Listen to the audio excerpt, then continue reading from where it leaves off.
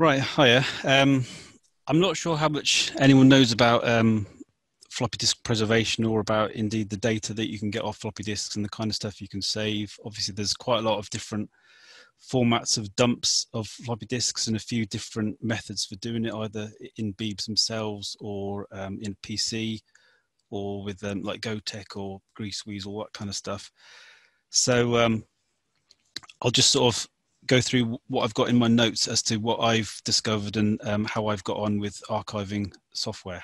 Um, so, as you said, my name is Jasper Renow-Clarke. Um, on Twitter, I'm Femtosonic because Picosonic had already been taken. So I'm Picosonic on GitHub and on Stardot and a few other places. But on Twitter, it's Femtosonic because that was the next SI unit that was available. Right, so this is the finished board that I created. Um, so the Raspberry Pi connections on the bottom right hand side, the 40 pin standard Raspberry Pi um, GPIO header. Um, the left hand side, you've got a 34 pin um, Shugart compatible um, header for the ribbon cable that goes to the drive. And then it's pretty basic really. There's, there's just a couple of jumpers to switch between eight inch and five inch disk drive um, index pulse lines and the side of the sorry the the disk select you can select on the jumpers as well. Um, other than that, it's mostly just pull up or pull down resistors and a couple of open collector hex inverters just to get the signals to the right levels because the, the drive wants five volts and the um, the Pi wants 3.3. So that's that's the underside of the board showing the Raspberry Pi connection header at the bottom there and just a quick shot of them, how they connect together. Now, the reason I, I did it like this was because I still wanted to have access to the, um, the video and the, um, the, the, capture and, and the video outputs. So I, I, did it as an offset board like that. Um, and the reason it's as big as it is is because I'm, I'm a bit of a novice in terms of um, circuits and soldering and all that sort of stuff. So I wanted to make it as, as big as possible for me to be able to make the board up. Uh, and this is it connected up with the Pi uh, working. Um, so on the left, you've got my dual Cumana drive. Um, so that's the original one that I had um, back in the mid to late 80s. And that's got an 80 track, 40 track selector switch on the back. Um, although to be honest, most of the time I only ever used um, drive zero and, and, two on the on the right hand side. Uh, and I'm using a PC power supply because the I'm not just not sure of the status of the power supply inside my um, drive. So I'm just using an external PC one. And the in internal connection for that is just a standard Molex. So this is the um, floppy wiring diagram for the BBC Micro. So on the left, you've got the, the 34 pin Shugart connector. And you can see where there's, there's the jumpers to go between five and eight.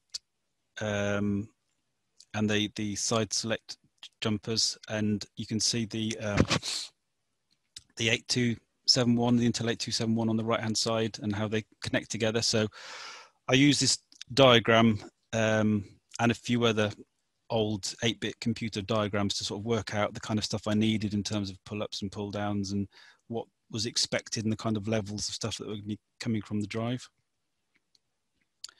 So this is the schematic for my circuit. So you can see the, the level shifters that, that, you know, the hex inverters going from right to left to go from the Pi to the board. So you've got the load head, which um, starts the motor off, the direction, that's just to say which way you're going to be seeking, the seek pulse, um, the write data, which to be honest, although it's wired up, it's something that I'm not really that interested in because I know that old floppies are sort of crumbling a little bit, and my main focus was in preserving the data off them rather than writing new stuff. Although I do like the idea of it potentially being connected directly to a Beeb or any other device that requires it to, to work in a a fashion a bit like a, an emulating uh, floppy, like a Gotek or something.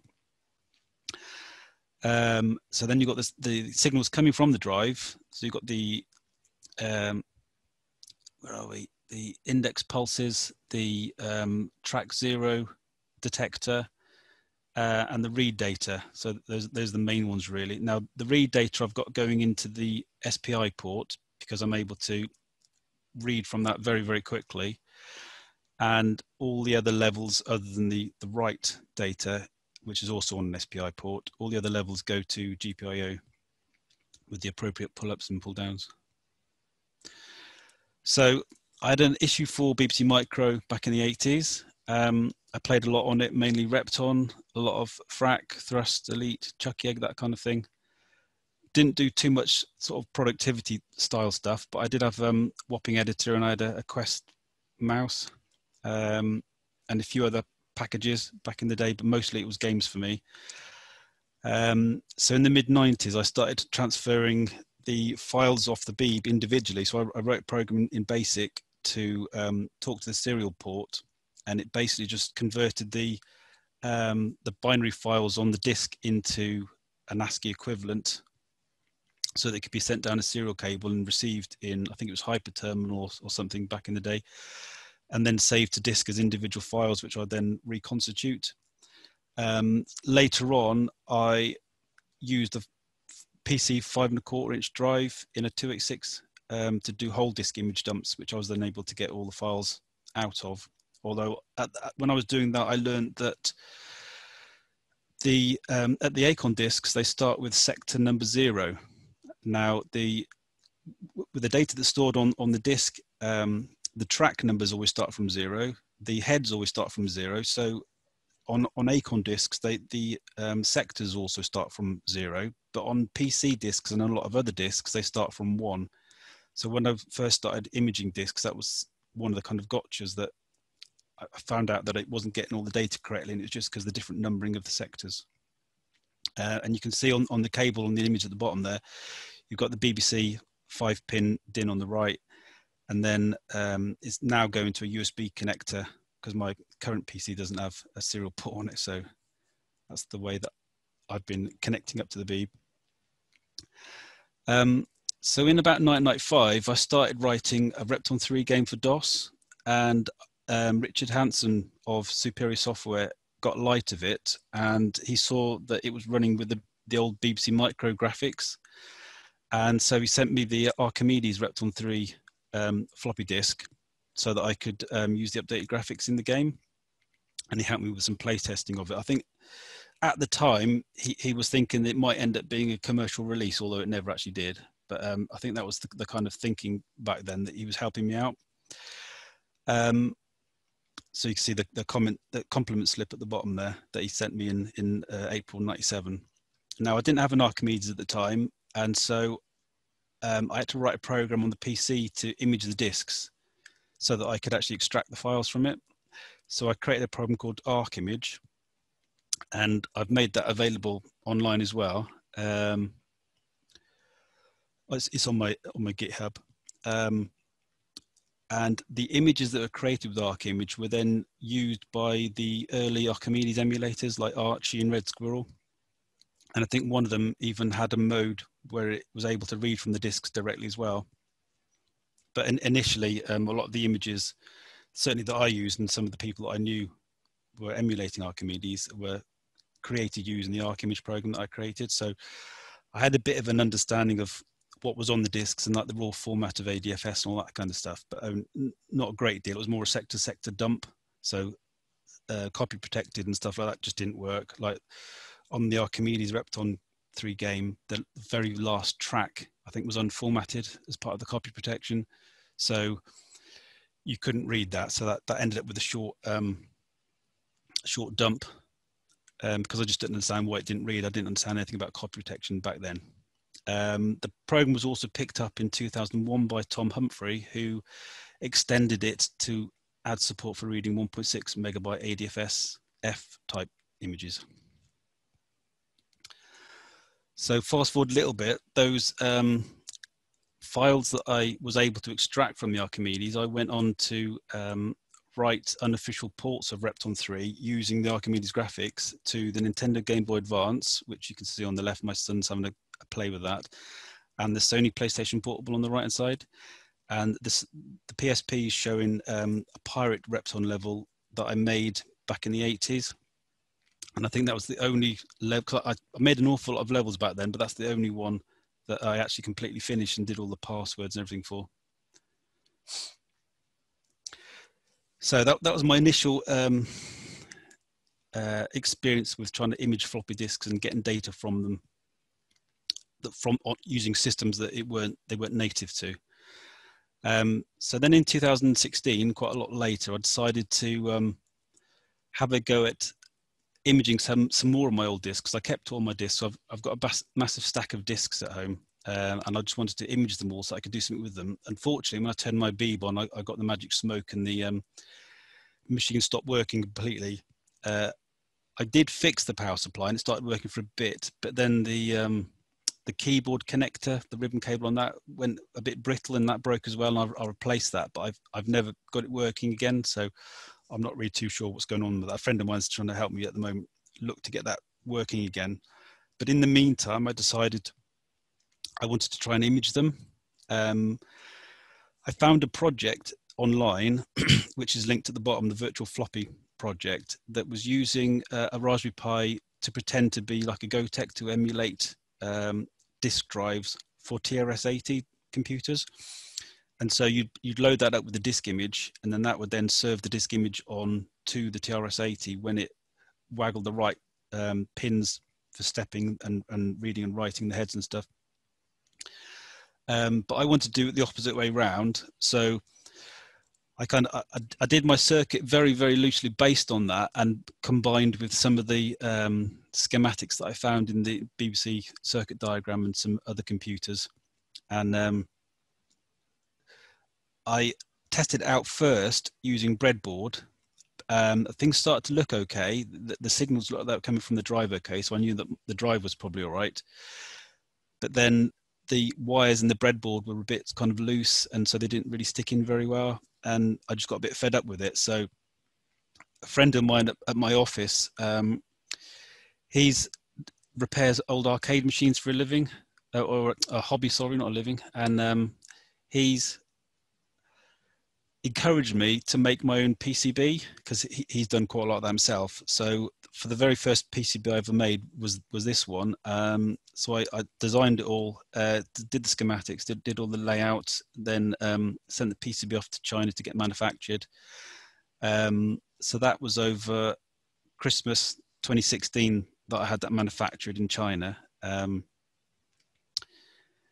and yeah, the the project's all online. There's there's a link at the bottom to, to my own project. The the GitHub link is is to my uh, ArchImage project from the previous page. Okay.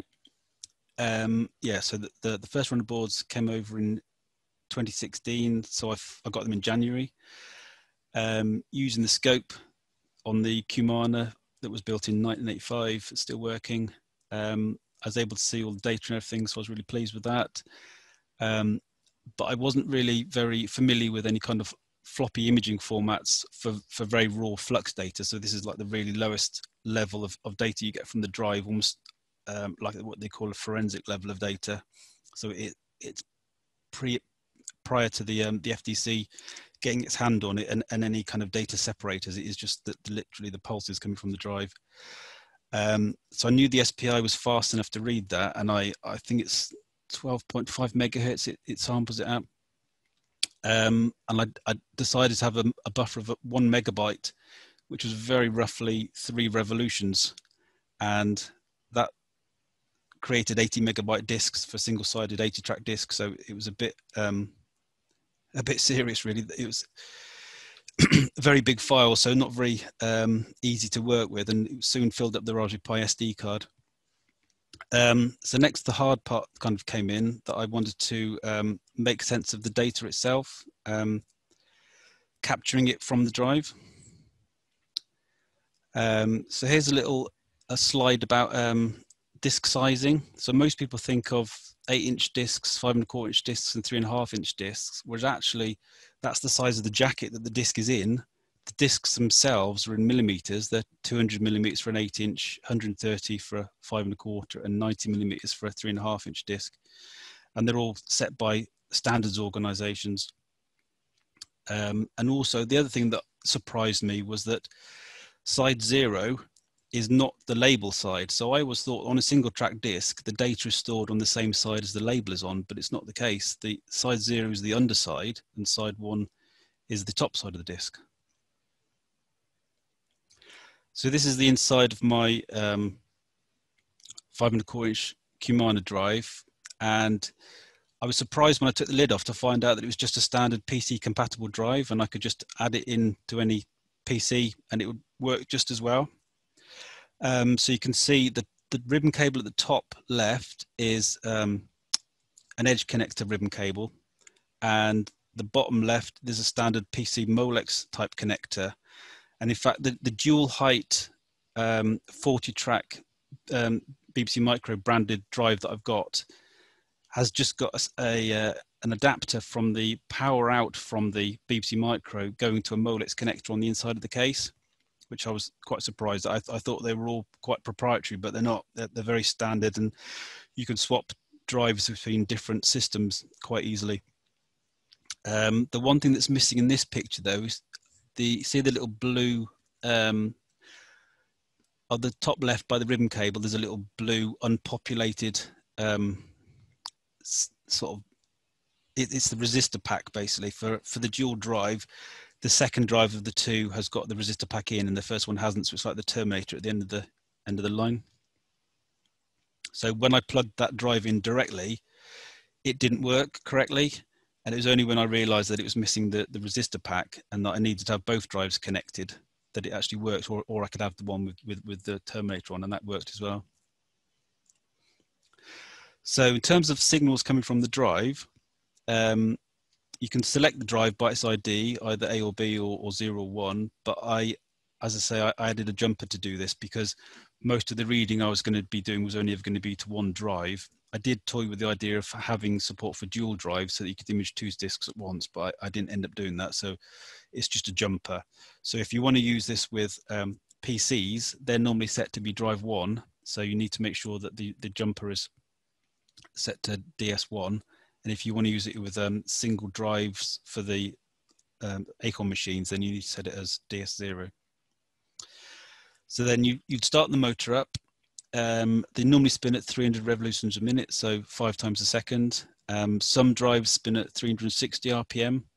So one of the first things you need to do is to sample that pulse time of between index pulses, and that will give you an idea of how fast it's running. And then from that, you can work out how long in time a, or, or rather how, how, how long a pulse will be or between the, um, the flux changes. So on a 300 RPM, it's four microseconds. On a 360, it's slightly less because that's running at six rotations a second instead of five. So having got the motor going, um, sometimes there's a, in the timing diagrams for data sheets, there's a there's a thing about um, waiting for the amount of time for the drive select to happen and the the motor to start before you start doing any stepping and stuff like that. And I think I'm, I'm quite generous with my timeouts because some of the older drives take a bit longer. Um, and I'd rather be slightly more generous than than under generous and have to have like a switch for you to change it to, to, to allow it to have a bigger delay. Um, so once you've um, got it got it spinning and you've verified it's spinning, you then need to step to the track that you want to capture and then either have it as the, the, the, top side or the bottom side using the, the head select, although most of the single sided drives will only ever be one anyway, and sometimes they'll just ignore the, the head select um, signal.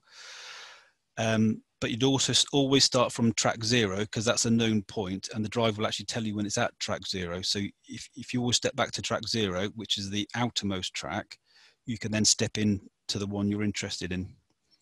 So the um, the catalogs that store what's on the disk are normally in track zero, and that's because it's got the longest amount of magnetic material for one rotation of the disk. So the bits themselves are kind of stretched out and they're, they're a bit less susceptible to noise and interference. So to be able to increase the reliability of the catalogs, they're always on the um, outer track. although the Commodore 64 and a couple of others have got them in the middle, and they do that to try and improve seek time between the catalog and, and the files themselves. But most other systems, they're, they're at start at track zero.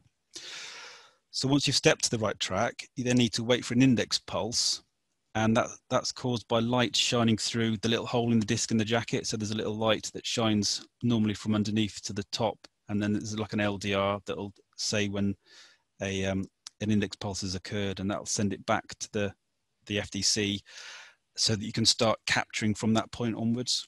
Um, and that's just because some um, some disks are aligned to the index pulse, and some aren't.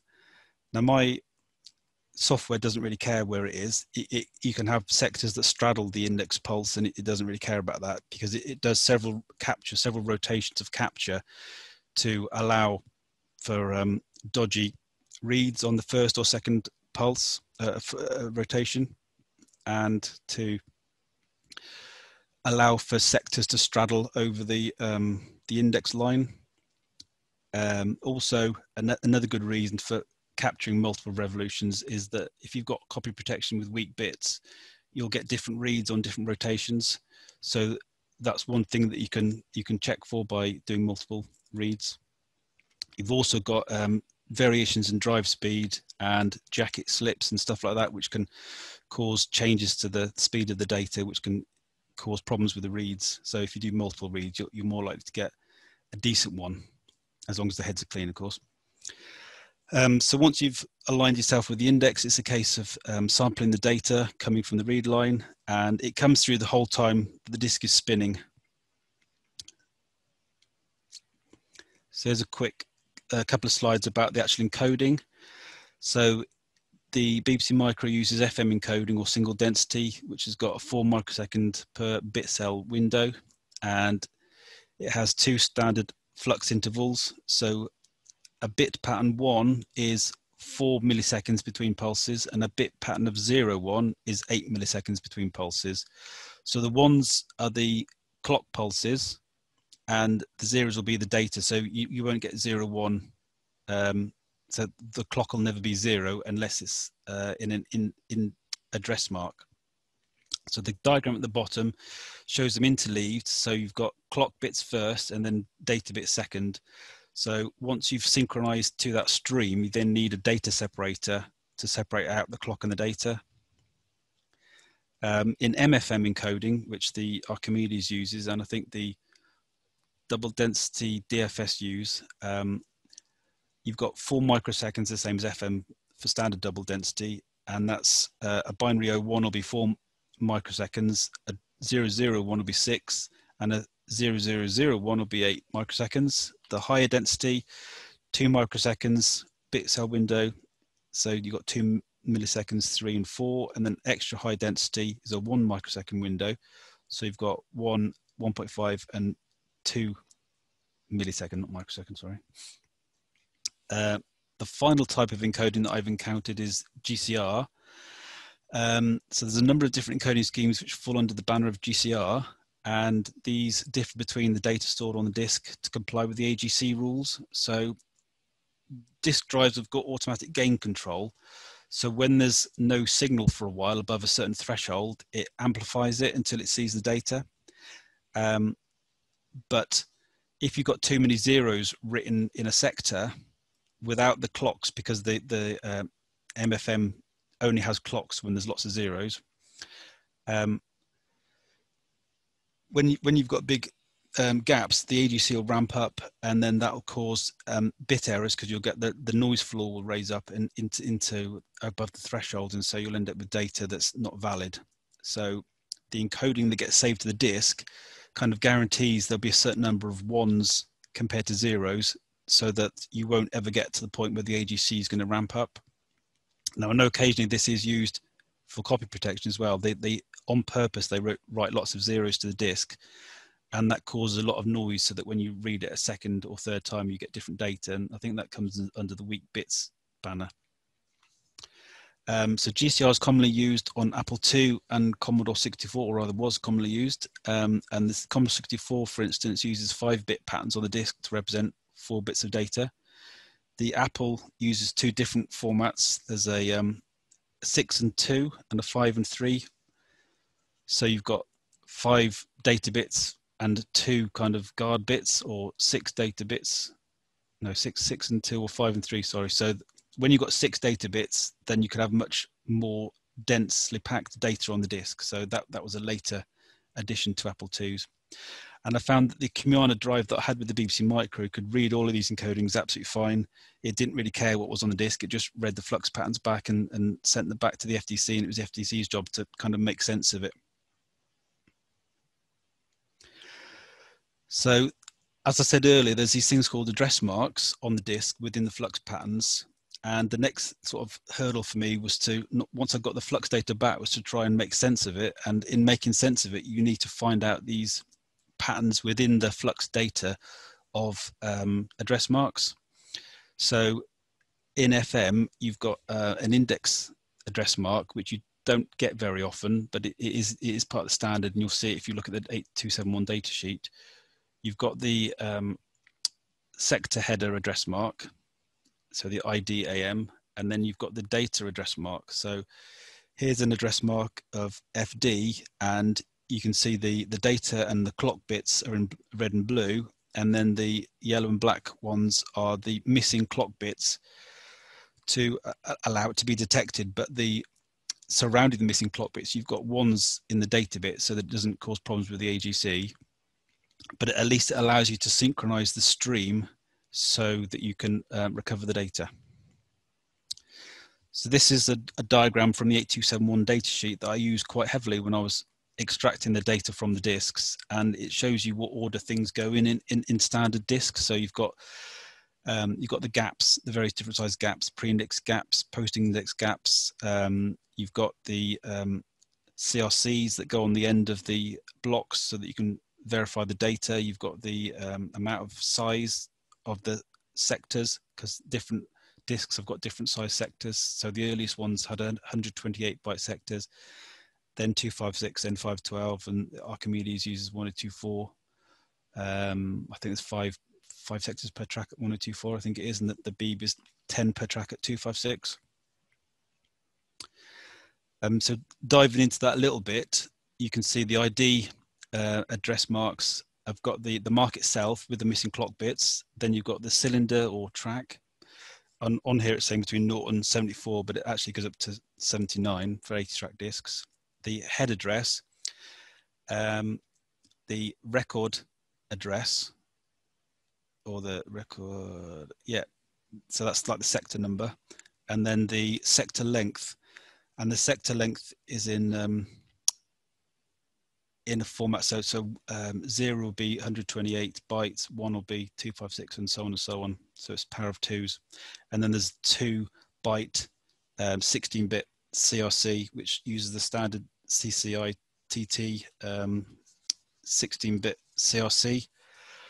Um, let me see, so it's got an initial value of FFFF and a polynomial of 1021, um, but different systems do use different polynomials or different starting values.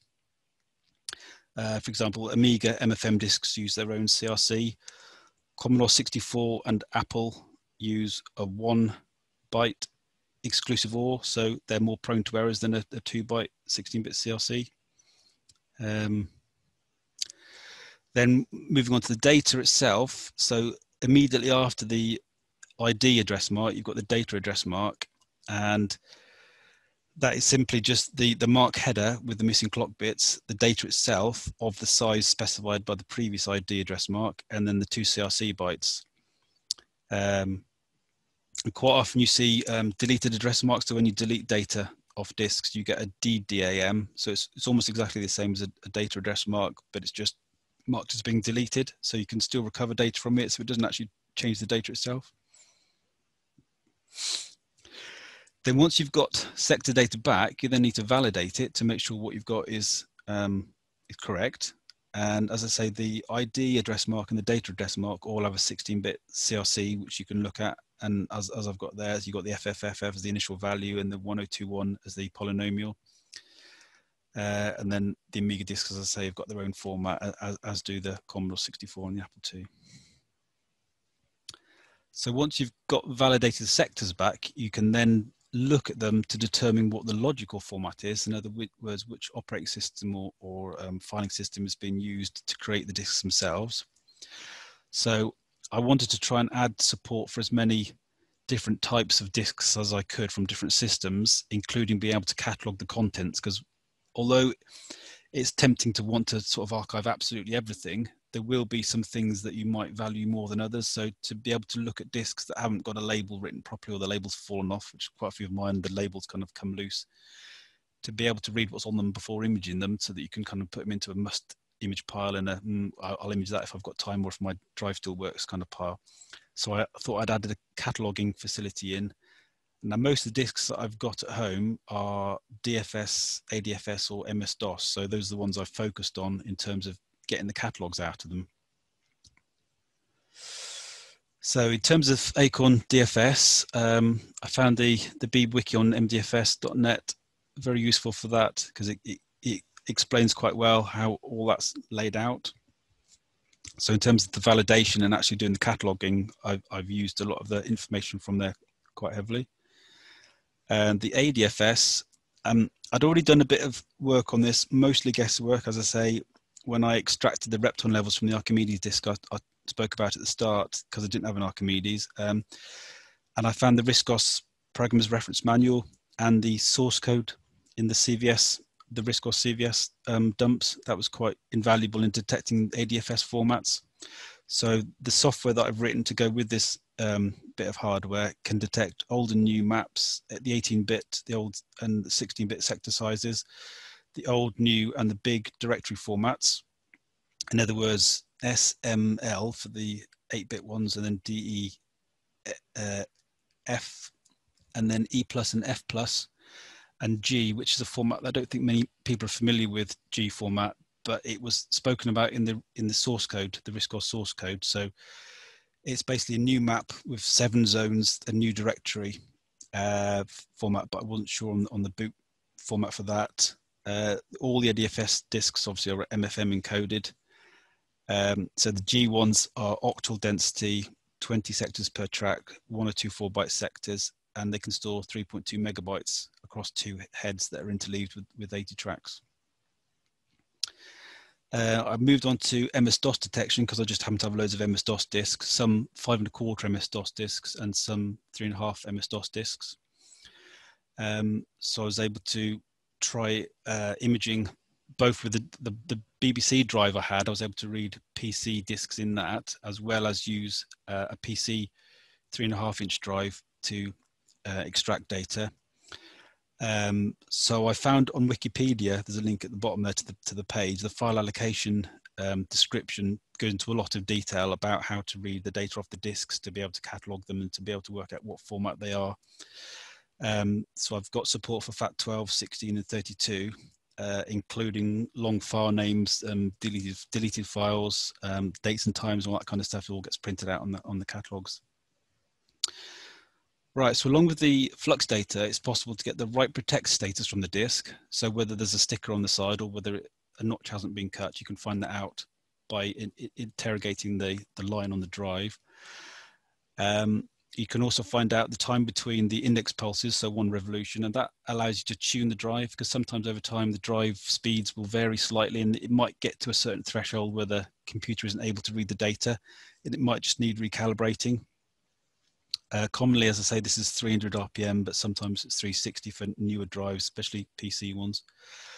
Um, so when writing disk image formats to support metadata, I extract the disk title from the catalogs. So for, for DFS, ADFS, and MS-DOS, I extract the, the title of it. So when I'm writing to FSD format and um, teledisk format, I, I carry the title across, although you can overwrite that with a command line option. Uh, I can also detect flippy disks without the need to flip them. So I've got some flippy disks that don't have an index hole on both sides, and I've got some which do. So you can actually physically flip them, and others uh, which when you flip them, it, it, ignores the index line for whatever reason. But I, I can image them without it needing to be flipped, and that that's done just by sampling the data and then just literally reversing the bits for the for the whole dump, and it, it will extract the data perfectly fine doing that. So the first tool I created was a drive test tool um, to enable me to test that the PCB was working at all and it wasn't going to blow up and make sure that it the signal levels were correct and you know the uh, the interfaces between the Pi and the PCB were okay. Um, so it checks to see if disks are detected and the drive is detected first, and then it checks to see if the uh, the disk is the heads are at track zero, and tells you whether it's write protected or not, and gives you an approximate RPM so this can be used to tune drives and to make sure the signals are coming back okay. Uh, if you've got a broken index sensor uh, or a hard sector disk, so that's one with lots of holes in it rather than just one index hole, then you want to run some tests requiring uh, floppy to be inserted without requiring floppy, sorry. Um, you can specify no index because the drive test tool will wait until it's got, uh, rather not not continue if it doesn't think there's a disk in there because if the disk isn't in there it's not able to determine the rpm or the the write protect status or anything like that. So it put no index will allow it to continue even if there's no index. So you can optionally also count the number of tracks that the drive can step to because um, quite often they will step past 80 tracks. And in fact lots of disk duplicators would write data in the 80th because they're not to 79 so the 80th track or the 81st track will quite often have um, disk duplicator in information in there including the the date and time that the image was written and the make a model of the um, drive itself the, the duplicated drive. Um, and finally you can move the head in and out uh, by seeking to spe specific tracks using the drive test tools so just to make sure that everything's working. So the the BBC FDC tool which is what I wrote to um, initially image BBC disks and to pretend to be a floppy disk controller, hence the name BBC FDC. Um, so that's intended for capturing raw RFI flux data from floppy disks and optionally converting it to SSD, double-sided DSD, FSD, so Bill Carr's format, um, TD0, which is a teledisk format, uh, or ADF or a generic image file, so just a sec generic sector dump. Uh, it's designed to work with floppy disk interface PCB as discussed previously attached to the GPIO of the Raspberry Pi 2 or 3 and that, I've actually now tested it on the 4 as well because it, it wasn't working on the 4 because the, the BCM 2835 library that I found they didn't have a version for the Raspberry Pi 4 although that did come out fairly soon afterwards after the Pi did. Um, so the Pi 2 and 3 run at 400 megahertz not overclocked and the Pi 4 runs at 500. So as part of the code, it detects what hardware you're running on and it'll adjust the, um, the clock speeds appropriately to be able to get the best capture it can from the, the hardware. And, and, with some modifications, it can be made to run uh, on a Raspberry Pi 1. So the problem with the Raspberry Pi 1 obviously is it's got a different size header. It's not got the standard 40 pin header that the, the 2, 3 and 4 do. So you have to make some changes if you want it to run on a Raspberry Pi 1. Now, in theory, it should do, but I've never actually tried that and that'll run at 250 megahertz, so it's, it's slower again. Um, so I've done output to DFI, which uh, some people were saying that they the RFI format that I had kind of invented um, wasn't really usable by any other software or applications, and nobody had heard of it, obviously, because it is one I've invented. So I had to go writing out to another format, and DiscFerret was one that I heard at the time was popular, so I had to go right into that. Although I haven't been able to confirm whether the dumps I'm doing with are, are fine or not. So I've, I've, not been able to test it, but they passed the validation from what I can tell from looking at the format on, on the website, the file format. Um, so by default, the sectors are sorted by their physical position on the disk, regardless of uh, which of the three passes uh, the data was found in. Um, the sort option allows them to be sorted logically by sector ID. So most disks they'll have sectors starting at zero for acorn or one for non-acorn quite often.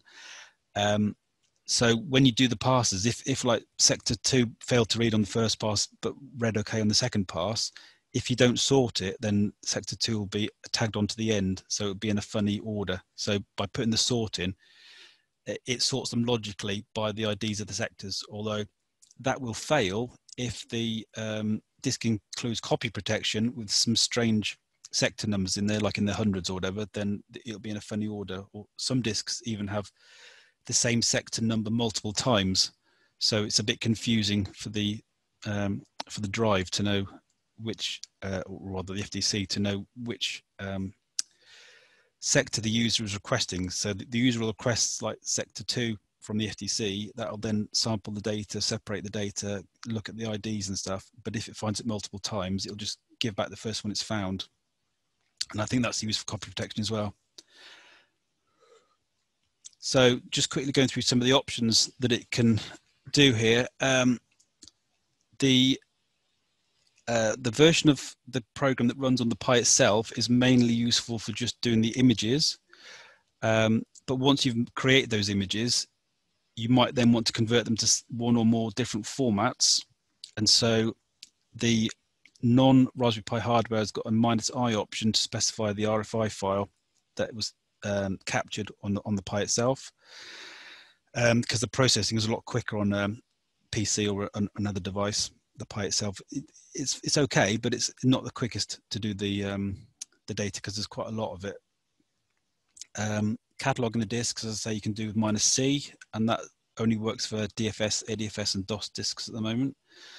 Um, SS will force single-sided capture, and you can optionally add 0, 1 to say the upper or lower surface. Um, DS will force a double-sided capture unless it's being written to a single-sided format only, like SSD, SSD or SDD, or if FSD is a single-sided as well. Um, minus O will specify the output file with one of the following extensions. So you've got the RFI, which I've discussed, DFI for the DiscFerret, SCP SuperCard Pro is one that I'm working on at the moment, so that's not finished yet. SDD, DSD, DDD, FSD, Teledisk, generic image, and ADFF. ADFF ADF is also a generic image sector by sector dump, but uh, I think the Amiga and the um, Archimedes use ADFS quite regularly. Um, the SPI divider you can specify, and what that does is it changes the clock sampling frequency of the SPI um, bus itself. So it can either be 16, 32, or 64. If you go much outside either lower or higher than that range, then you don't get good enough data coming back from it to, to be useful.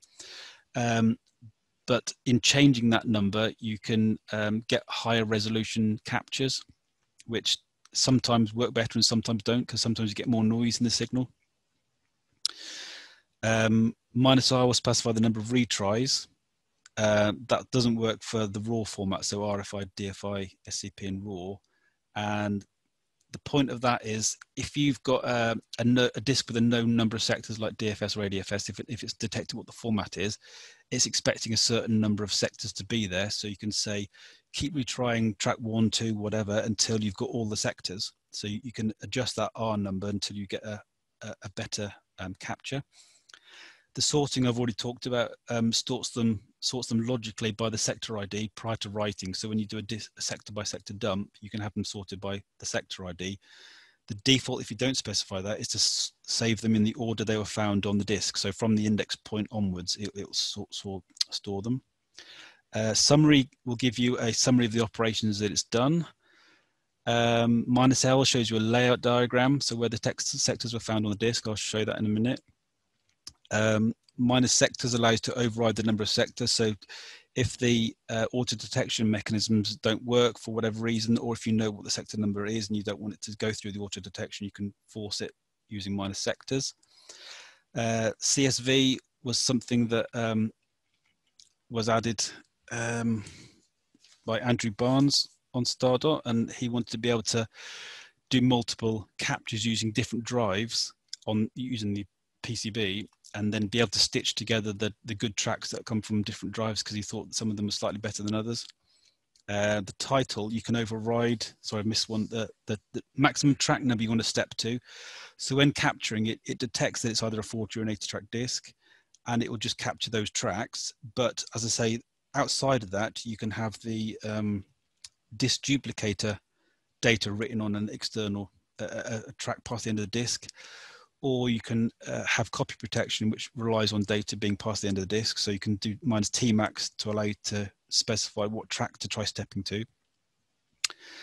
Um, the title can be overridden. So for the formats that support metadata, you can um, write the title to them like Teledisk and uh, FSD, um, or you can override it. So formats that don't have it, you can specify what it is. It'll say unnamed otherwise, or you can put the um, leave it as it is and it'll take the title from the disk. And then minus V is verbose and it is very verbose. You get a lot of data come back from the drive. And to be honest, there's too much going on to be able to read it in real time. So I use that sometimes for debugging it and I would capture that to a file and be able to look through that file at my leisure to work out what's going on. So a quick demo. Let me um, swap over to my other screen. Um,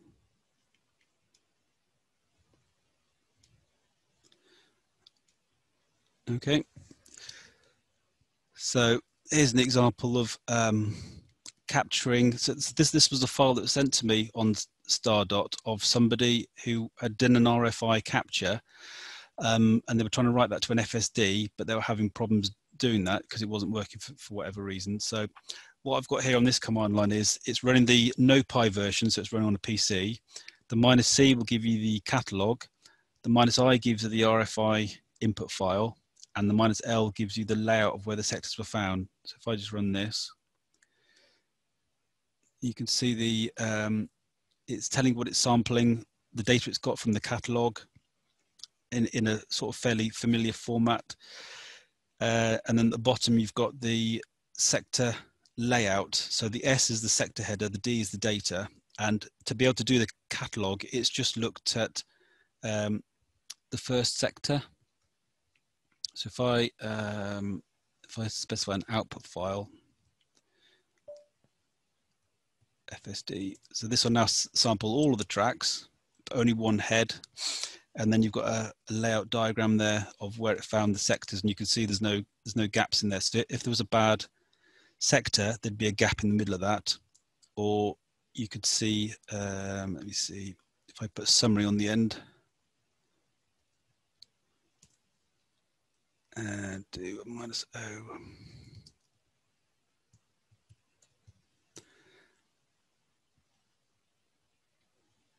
then you've got a, uh, the sector summary there. So it's showing you for each track the sector number first, and then in square brackets you've got the head that, was read from, and you can see there's no there's no gaps in there. All they're all sorted and they're all in in order. So that's that's a good capture. So having done that, you've got another call called um, check FSD, and that I wrote to make sure that I was um, dumping the FSD files correctly. So if I just use the same one and put that through more. So it just, it just reads what's in there. So you can see some of the data there. You've got the, the title that's been read from the disk itself, uh, the number of tracks, and each track is then, it then shows you the, the data in each one, including the sector ID. So you've got the cylinder head sector and then the, the size of it. Okay. Let's go back to the other one. Um, right, so I've had a few questions about my um, the RFI dump format that I've invented, and the kind of the rationale for me doing this was I, I didn't know at the time any other um, well-used dump um, formats and so I wanted to create something that was as close to what was coming from the drive as possible. So, so literally the SPI bytes that are coming from the read line. So every every bit of the eight bits of a byte is one sample of the SPI line, either high or low. So if it's all ones, it means the line was high the whole time. If it's all zeros, it was low the whole time. And that enables me to store not only the timings between the pulses, but when exactly the rising edge happened and when exactly the falling edge happened. So you can work out the pulse widths as well. Uh, and it stores metadata in um, JSON format, so JavaScript object notation. And the reason for doing that was to allow uh, it to be extended without breaking stuff in, in older versions. So an older version of the BBC FDC program would be able to read newer RFI dumps as long as you didn't change the encoding format completely because it could just ignore the um, key value pairs that it didn't know about. So if somebody else did a dump and they wanted to, to put their name or the name of the tool in it or something or some other properties that they were able to read from the disk, then older versions of FDC could just ignore that, or, or older programs which supported the FDC uh, uh RFI format rather could could ignore that. So they are completely pure, sort of unmodified um, dumps of of the whole lot, uh, warts and all, of what the flux is on the disk. Um, Yep, JSON talked about that. Raw samples. Yep. So I did actually uh, add um, functionality in BeebEm to read RFI files, although I don't know what I've done with that version of um, code, but I had to make quite a lot of changes because the um, the sector IDs and a few other things were fixed size, so you couldn't have like 8-bit values in there. They, they were fixed to what the, they should have been, and that meant a lot of the copy protection schemes just didn't work. So um, I have actually managed to image Repton Infinity disk, which uses the same copy protection as Exile, and I've been able to play that in BeebEm with the copy protection intact. So further development, a few people have asked me to, to make some changes to it over the years um, since I started in 2016. Um, so these, this is a list of things that I am doing or would like to do with it. Um, now, I'd like to improve the data processing and use a software PLL. At the moment, I don't use any PLLs at all. I just use um, a modulator and then um, timings, and then it's got like a almost sort of 30 or 40% tolerance and margin of error. So it's quite tolerant of, of data that changes and like jacket slips and that kind of thing. Uh, but it doesn't have a PLL. So if the sectors are written faster or slower than what it's expecting, it, it sometimes won't be able to pick them up correctly. So I, I want to write a, a, software PLL, and I found a few other projects which do utilize that kind of thing. So I've been looking into that, and it's something I'm quite keen to do. Um, I've put in basic Apple II and Commodore 64 GCR support, and that was just based on me being physically given those disks and being able to image them in my rig. Um, I didn't have a lot of documentation about how they worked, although I have had some. So that's something that I want to complete to be able to do um, good Apple II um, captures and Commodore 64 captures for people who've got their discs as well. Um, I'd like to look for and parse the data um, from tracks past the end of the drive, e.g. from the disk duplicators that I spoke about earlier. Um, I've also would quite like to add in fingerprinting of disks to help identify disks that are not known to preservation. Um, I heard that um, Disk Beast was going to, um, or does rather do that, and so I, I, would quite like to put something in to be able to output um, CRCs in. I think the CRC 32. I think Disk Beast uses. So that's something else I'd like to use in the future. Um, improve the detection of um, handling of disks where one size 40 track and one size 80 track. So a lot of games, particularly some of the superior ones I've got, are 40 track on one side and 80 on the other, and they're flippy disks. So improve the detection and imaging of those. Um, the SCP format, as I say, is, is, in quite early days still. I've only just sort of started putting it in last month, and there's still quite a lot for me to do. There's a few things in there that I don't quite understand yet. So some people have sent me some example SCP files. So I'm, I'm going through those to try and work out uh, what I can do to improve the compatibility of those. Uh, also, people have asked for HFE support but I've, I've heard that SCP files can be converted to HFE files quite easily. So I'm not quite as keen on doing that just yet, although I understand some floppy emulators and maybe Goteks or whatever like HFE files better than SCP. I don't know if that's right. Um, also, a few people have asked me for write support, and although it is capable of doing that, I, I'm not really motivated enough to want to do that yet. I'd rather get the the reading and the archiving down to, to a much more reliable level and, and um, allow you to have lots of configuration options to um, to get the best out of it. Um, just because the the discs themselves are failing, like the magnetic materials um, peeling off and the um, they're getting mold and, and, dust in them. And to be honest, some of the discs that I've put in there that people have given me make a heck of a noise when the drive's rotating. So I, I don't really like imaging them and have to clean my heads afterwards. Um, but it is physically wired up to allow writing of data. So in theory, it could be used like a, a Gotek or something similar to be able to emulate um, disk drives with DiskSim. Um, so this is some of the reference material that I used when creating the PCB and writing the um, the code to be able to read the data. So the Intel 271 datasheet was was very invaluable, as was the Western Digital 1772 datasheet. I found various floppy disk manufacturer, drive manufacturers data sheets. So the drives I've got, I've got a few different ones, and the data sheets themselves tell you the tolerances that the drive will allow you to run in, like how much time you have to leave between stepping, how much how much you have to wait after doing a head load or unload, that kind of thing. So they're they're quite useful for for getting the tolerances right and to work out what actually is coming out of the drive.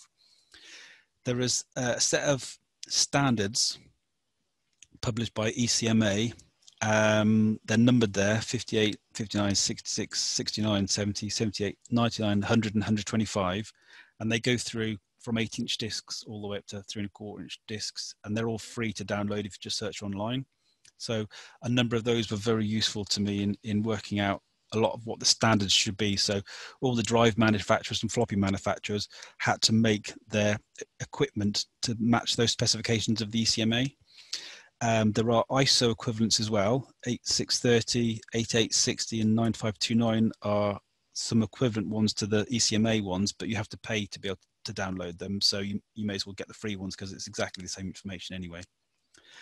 Um, a friend of mine gave me a Commodore 64 1541 disk drive book, and that helped me a bit with imaging the Commodore 64 disks.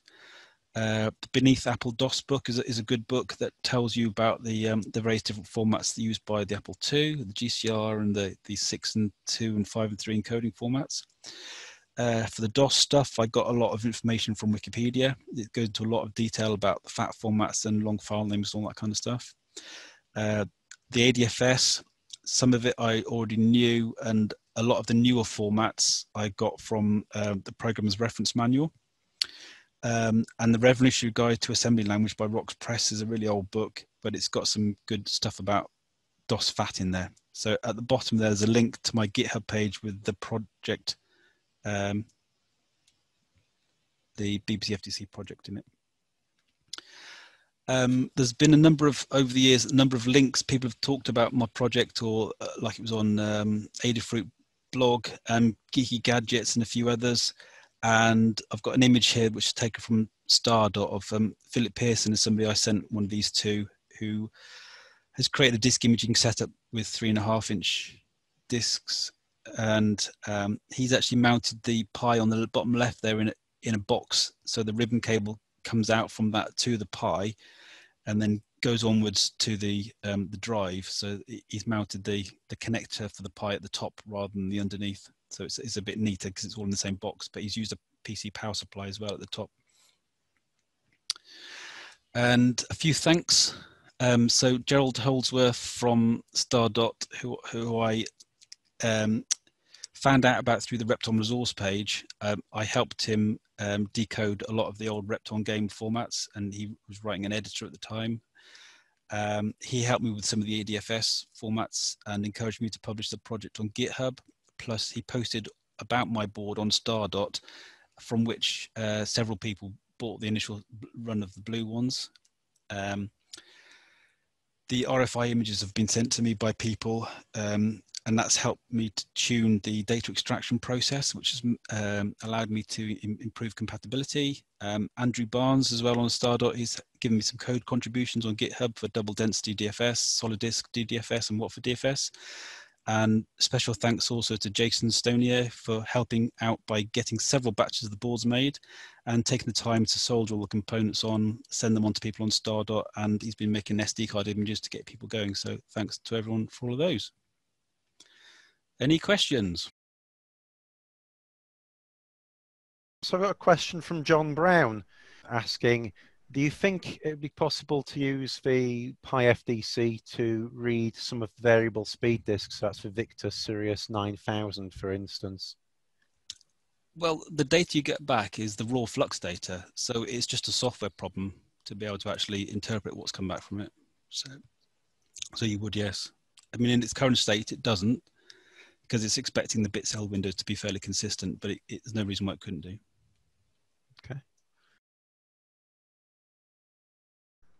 I'll um I'll ask a live question if you can if you can hear me. I've just just Yep. popped in. Certainly. That was that was fantastic. Thank you very much. Um, you've saved me some trouble in my my upcoming talk in the next slot. Okay. okay. Saved some time explaining some things, which I thought you did really well. And um, I just wanted to note that I thought that the trick of reading a flippy disk by just reversing the fluxes on the on the top side, that's that's awesome.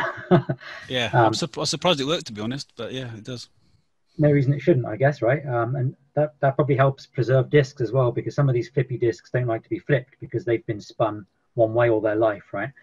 Yeah. Um, that, that's awesome. Um, I just wanted to say, if you want to collaborate on some of those things on your um, future work list, uh, like like disk-based compatible CRC32s, uh, I'd be really really happy to, to do that with you. Yeah, that'd be great. Yeah, yeah. I, I, I saw the project on GitHub, and I've I've seen a couple of your previous talks, like with Oil Daughter and stuff. And um, I think it'd be good to have a collaborative effort on identifying unique disks by having the the CRCs like you were talking about. Cool. Well, I hope you've got time to catch my my talk up next, and I'll Oh yeah, go yeah, through sure. Yeah. I'll go through how the CRC32 is, is formulated and some of the things we found using that as a as an identifier. Great. Yeah. Just briefly uh, drop my own on that. Um, I'm actually the guy who designed the DiscFerret, so I'm a little bit tickled to see that you use my uh, data format there, uh, Jasper. Yeah. Okay. Yeah.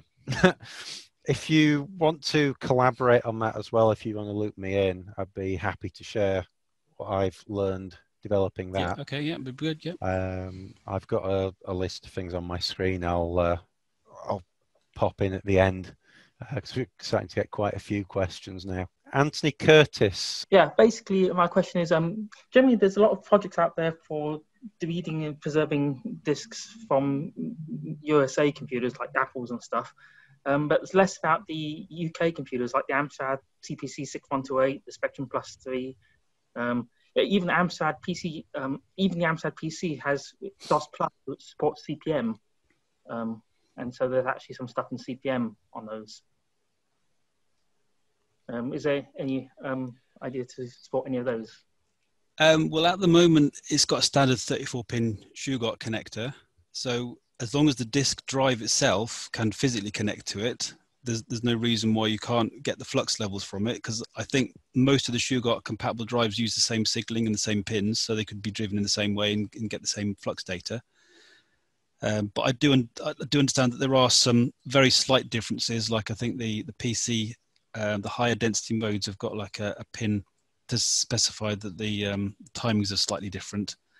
Um, but other than that, as long as you can get the flux back, it's just a software problem in terms of getting the data out of it. So as long as you can get a sector dump, and I think a lot of the old computers were in a very um, conformant structure, like the, the BBC micro disk, for example, are almost identical to what the 8271 data sheets specifies they should be in. So it's quite easy to read the data out.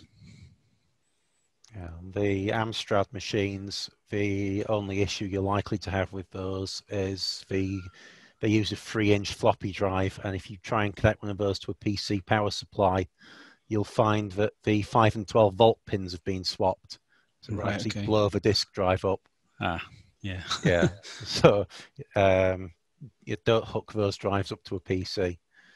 Um, but you can adapt for cables, and as you say, they are Shugart compatible, and then the on disk format is just uh, I think it's a seven seven uh, five four seven two five. It's the NEC standard disk controller that all Right, this is yeah. based off of. Uh, so, so, so just to note that the um, Amiga uses one long track. So most other things uh, will use um, the index address marks and the data address marks between each sector, but on the Amiga it just, just blats the whole track out, so you don't get all the little marks in there. So I had to do some special cases for Amiga disks to be able to image.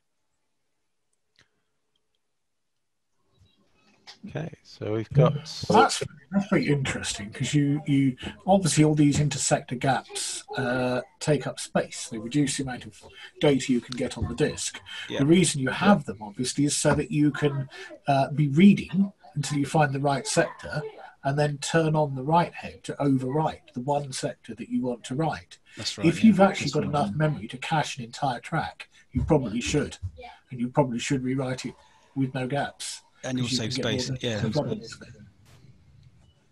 Actually, that's how they got um, early hard disks to a lot higher densities by getting rid of intersector gaps.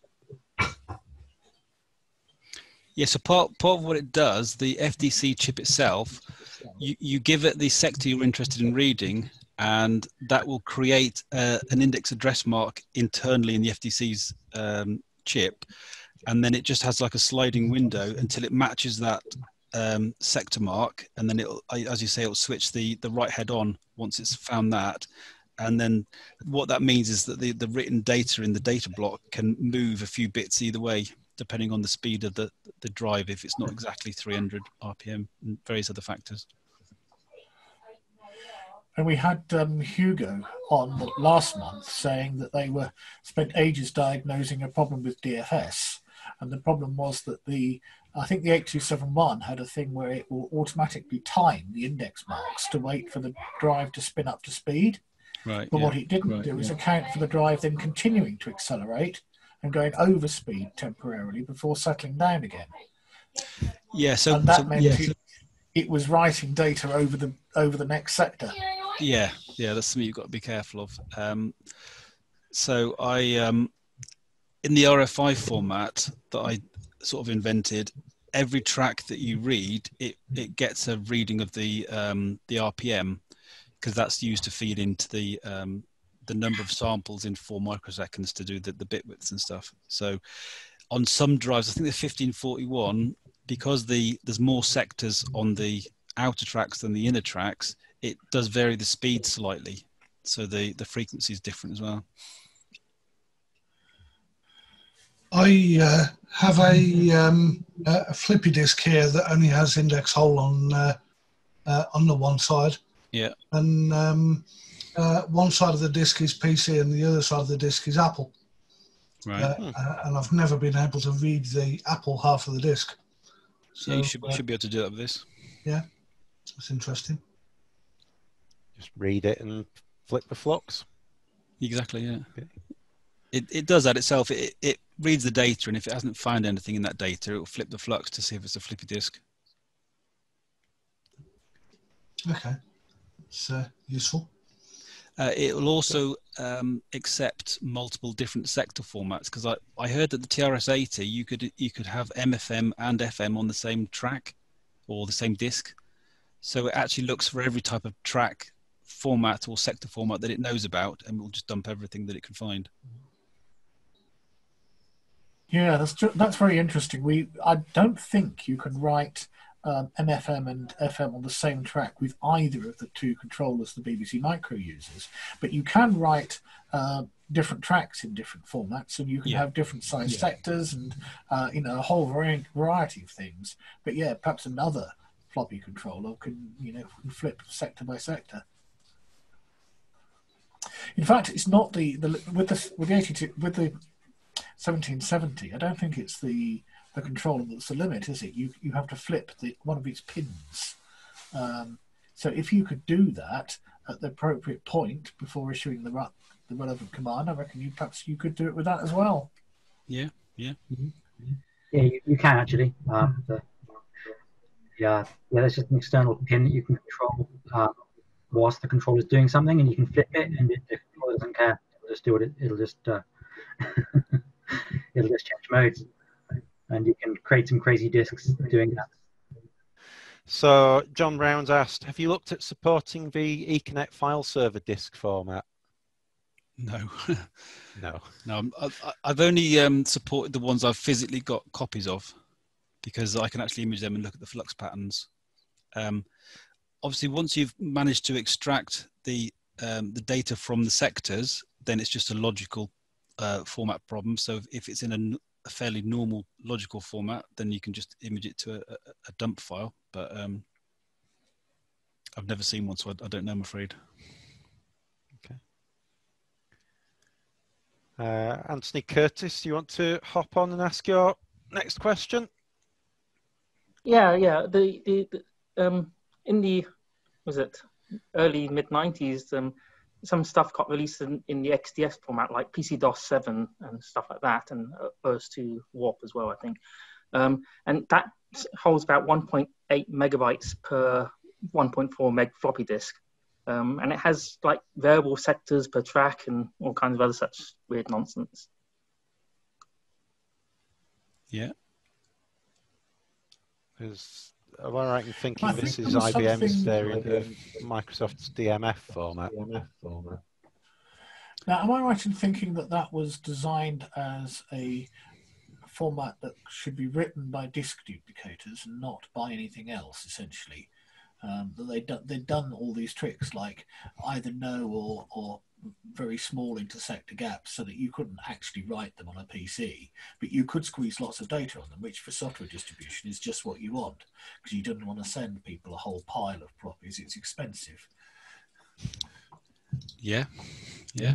Um, part part of the reason for the intersector gaps when you're writing just a sector at a time is to train the PLL. So if you start putting data in there, you can mess in the PLL and it might not be able to read the sectors properly. Um, this was like in the in the in the 90s that there were some computer some difficulties reading the IBM um, PC DOS 7 disks because of the XDF format. Yeah, possibly. That's not what I'm familiar with, I'm afraid.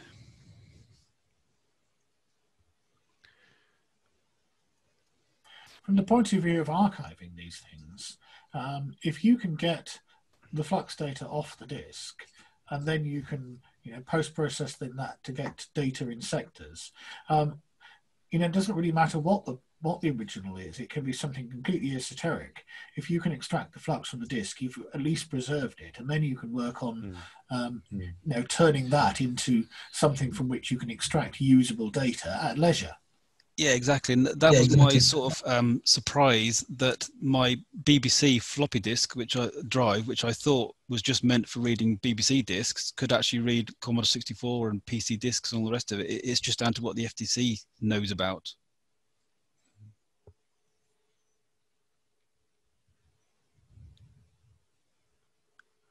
Right.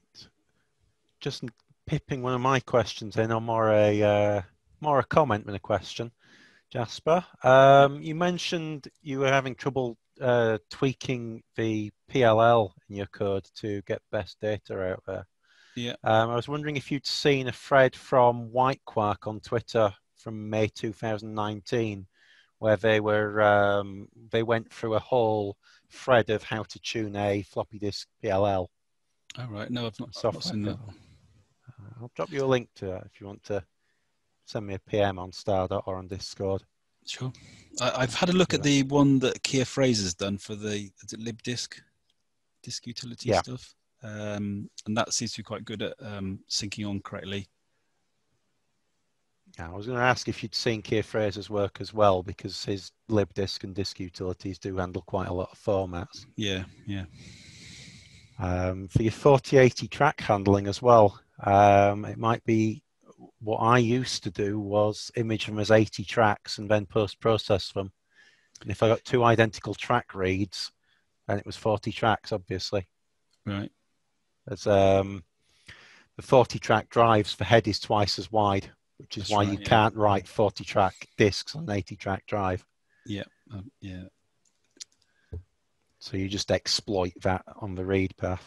So what what I do in the auto detection is I skip to track two, I think it is, and see what the um, cylinder number is on the track two. And if it says two, then I know it's an 80 track disc, or at least the disc and the drive match, so it's okay to image it. But if it comes up as a different number, I know that it's either an 80 track disc and a 40 track drive, or the other way around, and I handle that appropriately.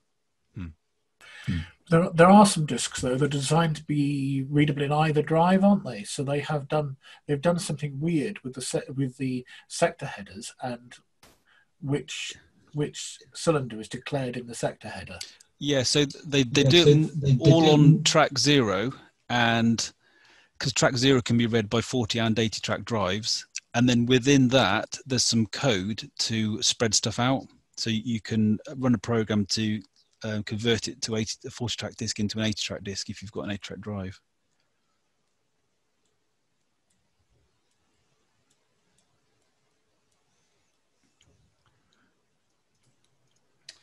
Um, So, I have one comment for you, uh, Jasper. Just you were talking a little bit earlier about implementing a software PLL in your software.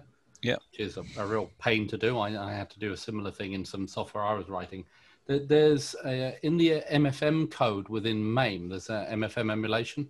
I think the guy who wrote it, his the name Soren or something like that he uses, but he has a really cleverly simple PLL that is specifically designed for locking on to the the um, signals coming off floppy disks. Right. It's a, yeah. it's, it's a really elegant solution to a very complex problem.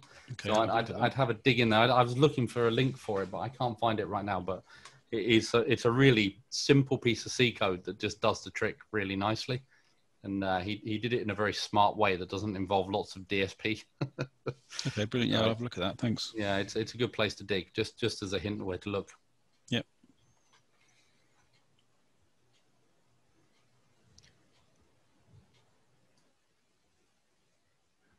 Do we have any further questions? Any more questions? Excellent then. Right, so thank you very much for joining us this evening, uh, Jasper. Okay. Thanks for the talk.